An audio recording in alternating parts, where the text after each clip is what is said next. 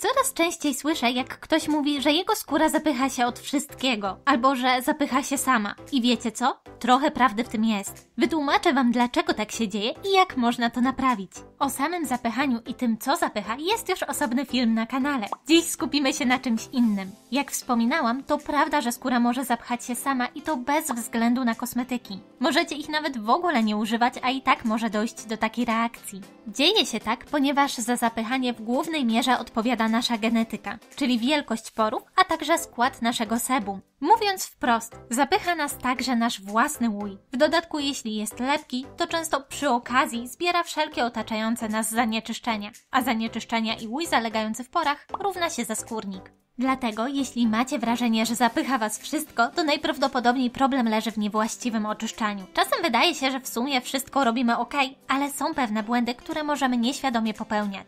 I tak, wiem, że trąbi się o tym wszędzie, że najpierw da makijaż, później myjemy buzię. Tak, to wie każdy, ale ja chciałabym porozmawiać z Wami o takich błędach, które leżą troszeczkę głębiej. Błąd pierwszy. Poranne mycie buzi samą wodą. Niektórym to się sprawdza, nie wtrącam się. Ale jeśli macie problemy z zapychaniem, to tutaj musi pojawić się jakiś produkt myjący, nawet bardzo delikatny. To dlatego, że sama woda nie zmyje zanieczyszczeń tłuszczowych. Nie poradzi sobie tak dobrze z problematycznym łojem czy resztkami wieczornej pielęgnacji. Stąd poranne mycie to konieczność. Jeśli chcecie, możecie mieć do tego nawet specjalny, delikatniejszy produkt. W tej roli świetnie sprawdzają się pianki.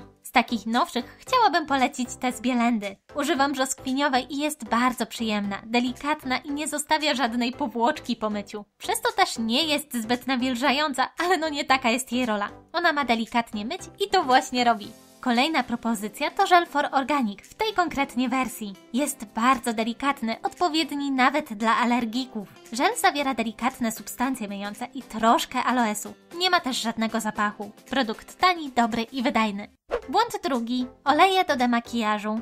Ten problem polega na tym, że trądzik i zaskórniki nie za bardzo lubią się z czystymi olejami, ponieważ są dość trudne do zmycia. Im więcej resztek tego oleju zostaje, tym gorzej. Jeśli często zdarza Wam się spieszyć przed snem albo macie dzień leniuszka, to lepiej postawcie na mleczko do demakijażu lub płyn micelarny. Bardzo fajnym rozwiązaniem są jeszcze specjalne olejki, które od razu zawierają substancję emulgującą. Dzięki temu korzystacie z zalet olejów, ale nie ma problemu z ich właściwym zmyciem. Przykładowe olejki tego typu to liren lub polny warkocz. Błąd trzeci. Wieczorne mycie samą pianką. Nie zrozumcie mnie źle, pianki są super, ja też je lubię. Problem jednak leży w tym, że dużo osób, które nie wykonują makijażu, polega na samej piance przy wieczornym oczyszczaniu. Czasem to za mało. Pianki są delikatne, bardziej rozcieńczone. Nawet jeśli nie wykonujemy makijażu, to może okazać się, że nasza skóra wieczorem i tak potrzebuje dwuetapowego oczyszczania. Wtedy przyda się jakiś płyn micelarny, a dopiero później żel albo pianka. Mała rzecz, a po sobie wiem, że potrafi zrobić dużą różnicę. Możecie też wypróbować żele stworzone typowo pod problemy z zaskórnikami. Na przykład Duetus,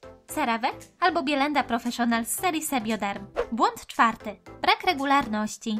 Główny problem z zaskórnikami jest taki, że ich nie da się od tak sobie pozbyć. Łój ciągle jest produkowany, ciągle mamy styczność z zanieczyszczeniami. Stąd bardzo ważna jest regularność w naszej pielęgnacji. I to nie tylko jeśli chodzi o mycie, ale także wykonywanie maseczek glinkowych czy peelingów. Takie maseczki glinkowe możecie wykonać sami, mieszając glinkę, najlepiej zieloną, z wodą lub hydrolatem. Taki protip. Jeśli musicie zużyć szybciej jakieś serum czy krem, to możecie je dodać do takiej mieszanki. Z gotowych maseczek oczyszczających sama uwielbiam duetus. Dodatkowo zawiera kwas salicylowy, który jakby rozpuszcza łój. Pamiętajcie, że glinkom nie wolno pozwolić zaschnąć. I teraz ważna uwaga. Takie maseczki warto robić regularnie, a nie dopiero wtedy, gdy pory już są pozapychane. Właśnie o to chodzi, aby zanieczyszczenia się tam nie kumulowały. Na początek raz w tygodniu będzie ok. Fajnie, jeśli to będzie w inny dzień niż peeling. I no właśnie, peeling.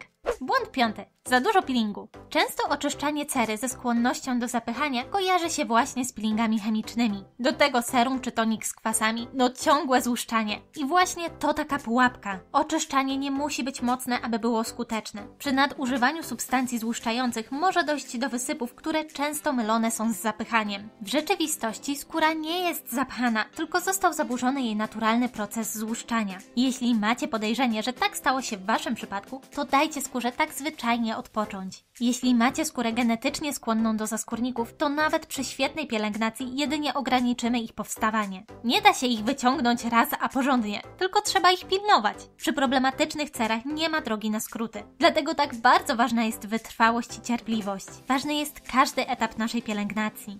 Ale jeśli znajdę drogę na skróty, to na pewno Wam powiem. Jeśli film Wam się spodobał, pamiętajcie o łapce w górę. Dziś się z Wami żegnam. Buziaki, pa!